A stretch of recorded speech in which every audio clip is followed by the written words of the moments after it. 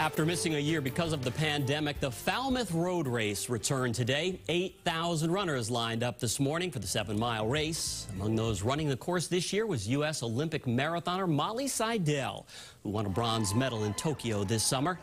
Fresh off that competition on the world stage, she says she's been looking forward to running Falmouth alongside her sister. I love doing Falmouth. It's been it's like it's been a really fun tradition for me since since living in Boston. Um, the entire Boston community and the Massachusetts running community kind of rallies around it. So I feel like it was uh, thinking about like something fun to do with my friends right after the Olympics. This was like top of the list.